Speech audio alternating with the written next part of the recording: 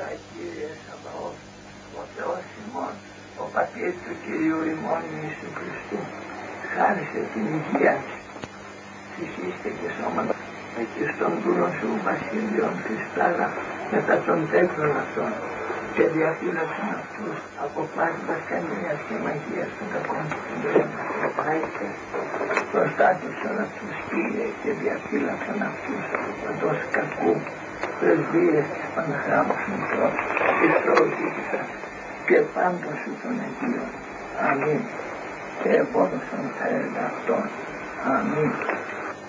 Κύριε Ιησού Χριστέ, ελέγξον μας.